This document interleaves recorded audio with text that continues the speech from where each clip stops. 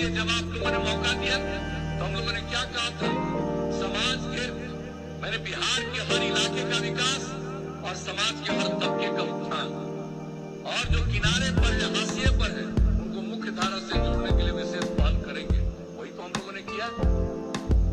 जब न्याय यात्रा पर निकले थे 2005 में तो आखिरकार सहरसा ज़िले में भी आकर के यही बात बोल गए थे। और जब आप लोगों ने काम करने का मौका दिया